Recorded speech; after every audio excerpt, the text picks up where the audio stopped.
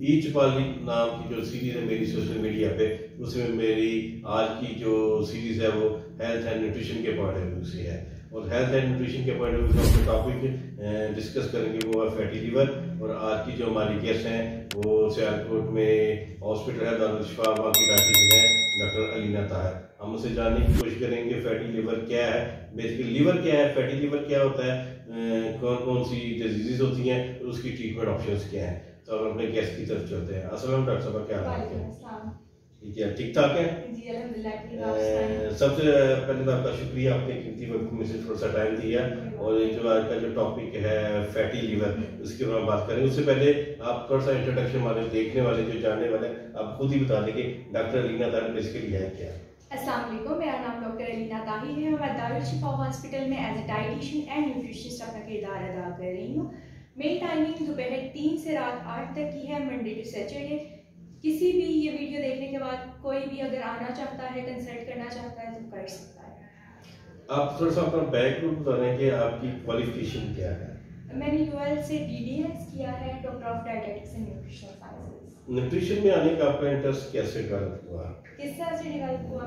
वो इस तरह से सिर्फ़ डेवलप हुआ कि ये ना आजकल का जो माइंड सेट है लोगों का वो ये है कि आप डायरेक्टली कि कोई भी आपको डिज़ीज़ लगती है आप डायरेक्ट जाते हैं डॉक्टर के पास और वो आपको मेडिकेशन दे देते हैं। फास्ट रिकवरी की तरफ़ सारे पेशेंट्स जाते हैं। हम्म। वो ये नहीं देखते कि मेन कॉज क्या है किसी भी डिज़ीज़ का वो उसको नहीं पकड़ते। अगर मेन कॉज को खुद वो जज कर लें या उन्हें बताया जाए कि मेन काज ये और आप डाइट के थ्रू सारा कुछ कर सकते हैं रिकवरी की तरफ़ जा सकते हैं तो इससे अच्छी बात तो और कोई बिल्कुल ऐसे ही है। तो हम इसी बात को आपकी बात को आगे बढ़ाने की कोशिश करते हैं। और आज का जो हमारा टॉपिक है फैटी लीवर है। तो सबसे पहले हमारे लीवर के बारे में बता दें कि लीवर क्या है। देखिए लीवर जो है ना वो हमारी बॉडी में एक वाइटल ऑर्गन है जिसे हम लोग जिगर कहते हैं उर्दू में। और ये पाँच सौ से ज़्यादा फ़ंक्शन परफॉर्म कर रहा होता है। अब पाँच सौ से ज़ायद जो चीज़ आपकी बॉडी के अंदर कर रही है परफॉर्म फ़ंक्शन अगर वही डैमेज हो जाती है तो बहुत सारे जो फ़ंक्शंस है वो तो सारे खराब हो गए ना।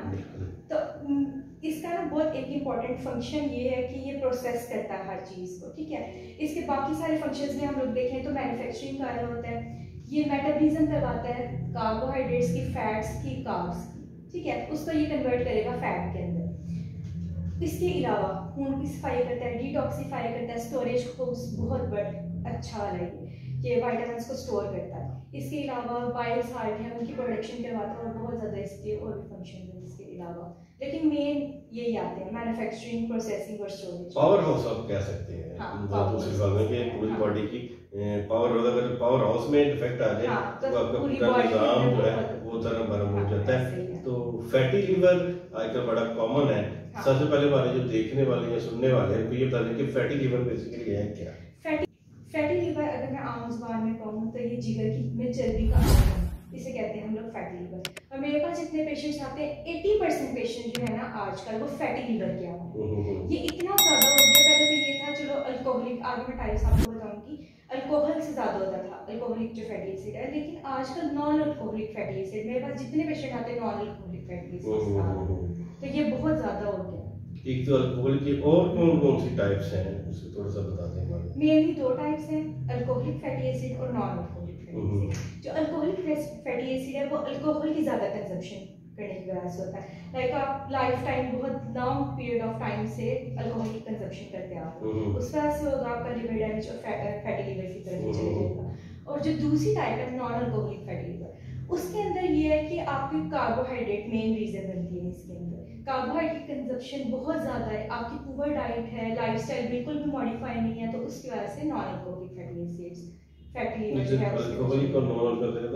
main basic reason आप क्या कह सकती हैं कि हमारी जो आजकल ज़्यादा पॉपुलेशन है हम्म। हर कोई मैं मैं दस में से दो तीन ऐसे पेशेंट हैं जो कि फैटी लीवर की। मर्ज में मुबतला है।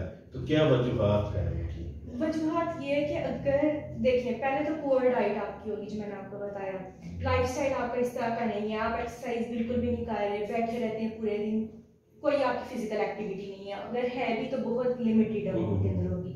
और दूसरा मेन जो बड़ा फैक्टर आता है वो ये है कि अगर किसी घर में किसी फर्द को हो गया फैटी लीवर घर वाले क्या करेंगे कि वो उनका कॉन्सेप्ट ये है कि अगर जिगर में चर्बी आ गई है तो चर्बी बंद चर्बी नहीं देनी। कोलेस्ट्रॉल बंद नहीं देना। फैटी फ़ूड देना ही नहीं वो किस तरफ़ कन्वर्ट कर देते हैं?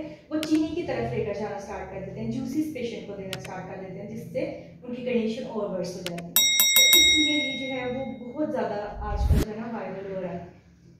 इतना इनका डैमेज होता है। Stage one stage two early stage के अंदर बहुत कम लोग आते हैं। हम्म, हम्म, ज़्यादातर आते हैं स्टेज टू के। और अगर सिरोसिस हो जाए तो उसका तो आपको पता है है तो तो तो तो liver, है। हाँ, transplant करवाना। लिवर ट्रांसप्लांट है और काफ़ी एक्सपेंसिव है और पाकिस्तान अरेंज भी नहीं होता अरेंज भी नहीं होता हाँ, तो ये नहीं मिलता है। उनकी वो वजह है। तो डायग्नोज कैसे आप करते हैं? आपके पास कोई पेशेंट आ गया है या किसी ने रेफर किया है हम्म। तो आप उसको कैसे डायग्नोज की तरफ़ करते हैं इसको फैटी डायग्नोसिस के अंदर मेनली जो है ना वो सबसे आसान तरीका ये है कि अगर आप पेशेंट को खड़ा करते हैं ठीक है? आप उसे कहते हैं कि नीचे देखो अगर तो उसको पाँव नज़र आ रहे हैं तो इट्स मीन के नहीं है। हम्म, अगर उसे पाँव नहीं नज़र आ रहे तो चांसेस होते हैं कि इसको शायद फैटी लिवर हो ठीक है? सबसे पहले ये। दूसरा जिससे क्लियर हो जाता है कि फैटी लिवर है वो होता है अल्ट्रासाउंड एब्डोमिनल अल्ट्रासाउंड और उसके अलावा एल के टेस्ट हम लोग करवाते हैं जिसके अंदर A S T A L T इनकी हम लोग वैल्यूज़ देखते हैं. हम्म, ये मोस्टली जो स्टेज वन के होते हैं उसके अंदर नॉर्मल इनकी रेंज हो जाती है लेकिन जो स्टेज टू के होते हैं जिसके अंदर इन्फ्लेमेशन की होती हम्म, है उसके अंदर इनकी बहुत ज़्यादा फ्लक्चुएशन होती है. और सिरोसिस में तो इनका कोई हाल ही होता बहुत ज़्यादा बहुत ज़्यादा कर जाती है. तो ट्रीटमेंट ऑप्शंस क्या आप पेशेंट को बताती हैं? कैसे इसको मैनेज या ट्रीट किया जा सकता है? अपनी लाइफस्टाइल को मॉडिफाई करें अपने डाइटरी पैटर्न्स को सही करें। हम्म, अब देखिए फैटी लीवर को अगर मैं डिटेल में आपको बताऊँ तो फैटी लीवर की दो टाइप्स की मैंने आपको बता दी ठीक है? अब जब लीवर डैमेज होना स्टार्ट हो गया फ़र्स्ट स्टेज क्या आती है? फ़र्स्ट स्टेज ये है कि आपका लीवर बहुत हेल्दी है ठीक है? नॉर्मल के अंदर आ रहा है हेल्दी लीवर सेकंड स्टेज के अंदर क्या होता है? सेकंड स्टेज के अंदर फैटी लीवर बनना स्टार्ट हो जाता है। थर्ड स्टेज अगर आपकी पुअर डाइट उसी तरह से आपने कंटिन्यू रखी है तो थर्ड के अंदर क्या होता है कि इन्फ्लेमेशन आनी स्टार्ट हो जाती है। इन्फ्लेमेशन के बाद भी अगर आप वही डाइट करते हैं फॉलो पुअर डाइट फिर आपका सिरोसिस के अंदर जो एंड स्टेज है उसके अंदर आ जाता है। हम्म, ठीक है? अब अगर तो आपको फैटी लिवर है तो हम लोग फैटी फ़ूड रिकमेंड करते हैं फैटी डाइट देते हैं। हालाँकि लोगों का कंसेप्ट बिल्कुल चेंज है। जब आप शुगर की इंटेक ज़्यादा करते हैं जो मोस्टली लोग कर रहे होते हैं जूसिस पी लिए कार्बोहाइड्रेट ज़्यादा कर लिए कीटो डाइटिस के लिए बहुत ज़्यादा बेनिफिशियल है। ठीक है? जब आप कार्बोहाइड्रेट इंटेक ज़्यादा कर रहे हो तो लिवर का मेन फ़ंक्शन क्या है? उसे शुगर से फैट को बनाना ठीक है? जब शुगर ही आपकी बॉडी के अंदर इतनी ज़्यादा होगी फैट ज़्यादा ज़ाहिर सी बात है ज़्यादा होगा फिर वो डैमेज होना स्टार्ट हो जाएगा। डिफरेंट एरियाज़ के अंदर।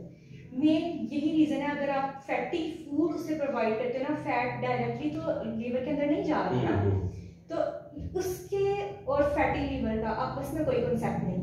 कि अगर आप फैट ज़्यादा देंगे तो फैटी लीवर और ज़्यादा खराब हो जाएगा। फैट कम फैट अगर कम कर देते हैं आप तो फिर ज़्यादा वर्स हो सकता है अगर आप कार्बोहाइड्रेट इंटेक ज़्यादा कर लेते हैं। और अगर आप फैट ज़्यादा करते हैं तो उससे क्या होता है, आपकी जो लिवर है, उसको रेस्ट मिलता है। वो डिटॉक्सिफाई अच्छे से हो सकता है, वो रिपेयर अच्छे से हो सकता है। जब वो रिपेयरिंग की तरफ़ एक दफ़ा चला जाएगा तो ऑटोमेटिकली सारा सिस्टम जो है आपका ठीक होना स्टार्ट हो जाएगा। फाइबर का रोल भी है इसमें कुछ? होता है लेकिन मेन जो है ना वो हम लोग करते हैं ग्रीन लीफी वेजिटेबल्स की तरफ़ चले जाते हैं। ऑयल का बहुत ज़्यादा है। जैसे ऑयल है ओमेगा थ्री जो जिसके अंदर ज़्यादा ओमेगा थ्री की रेशियो है वो लोग यूज़ कर लेते हैं। जैसे कनोला ऑयल हो गया ये। लेकिन इसके अंदर ऑलिव ऑयल हम लोग रिकमेंड करते हैं। आपने ओमेगा थ्री लेना है आपने ओमेगा सिक्स नहीं लेना है इसके अंदर। ओमेगा थ्री जब लेंगे तो कंडीशन वर्स होती जाएगी। थैंक यू डॉक्टर साहब। आपने कीमती वक्त में से थोड़ा सा टाइम दिया और फैटी लिवर जो कार्यक्रम बहुत कॉमन है लोगों में पाया उसके ऊपर अवेयरनेस फैलाने की आपने आपकी तरफ़ से क्योंकि अगर आप मेडिकेशन की तरफ़ जाते हो ना तो वो तो आपको मिलता है आराम हम्म। ठीक है? लेकिन अगर आप डाइट की तरफ़ जाते हो जो मेरे पास पेशेंट्स हैं अगर तो आप अर्ली स्टेज के ऊपर हो स्टेज वन के ऊपर हो तो थ्री मंथ्स मिनिमम आपको लगते हैं आप रिकवरी की तरफ़ चले जाते हो। हम्म, अगर स्टेज टू है तो आपको approximately six to nine months लग सकते हैं। लेकिन अगर थ्री मंथ्स के अंदर आपको रिज़ल्ट नज़र आ रहा है तो मेडिकेशन एक आप मेडिसिन यूज़ करोगे उसके साथ दो तीन साइड इफ़ेक्ट और होंगे। तो उस तरफ़ ना जाए। मेडिकेशन होती है इंपॉर्टेंट काफ़ी ज़्यादा डिज़ीज़ इसके अंदर है लेकिन जिस हद तक आप फ़ूड से कर सकते हो राइट टाइम अच्छी तरह से फॉलो करो प्रॉपरली तो आप रिकवरी की तरफ़ जाओगे। नहीं बहुत ज़्यादा फोकस आपका लाइफ स्टाइल मॉडिफिकेशन की तरफ़ हो जितना ज़्यादा होगा अपना फैटी लेवल को मैनेज करने में बड़ा आपका आसान हो जाएगा। थैंक यू आपने एक फैटी लीवर के ऊपर इंफॉर्मेशन डालने की कोशिश की और देखने वाले सुनने वाले को अगर एक लफ्ज की भी हमारे फ़ायदा हो गया समझा हमारा जो ईच पार का मेरा जो फ़ंक्शन था वो इंसान खुद से भी मॉडिफाई कर सकते बिल्कुल ऐसे ही है। और फ्यूचर में भी आपसे मैं योग करता हूँ किसी और टॉपिक के ऊपर जिसमें न्यूट्रिशन का रोल है उसके ऊपर मेरे आप ईच पार का हिस्सा लें। Thank you thank you